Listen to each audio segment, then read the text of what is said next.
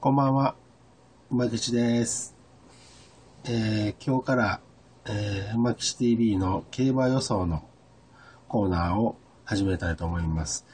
えー競馬は私、えー一番好きな、えー分野で、あ、すみません、分野で、えー毎週、えー自分なりの予想をですね、えーお届けしたいと思っております。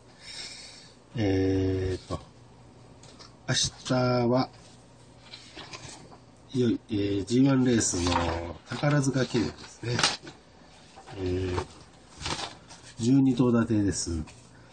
えー今年はね、どうも連覇が多い年で、まあ、それに当てはめるならゴールドシップなんですが、最近どうもまあんまりね、走ってませんので、私的にはウィンバリアシンを応援してるんですけども、うん、ということで、いろいろ考えた結果、こうなりました。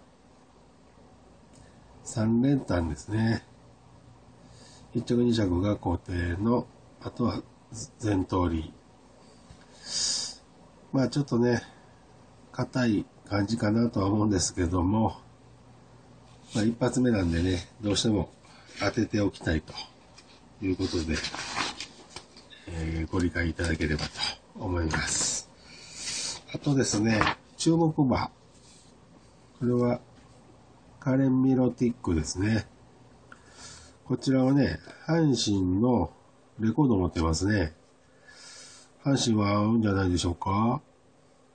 あとね、逃げ馬なんで、えー、スイスイと逃げ残るんではないでしょうか。現在10番人気。これ美味しいですよ。カレン・ミロティックです。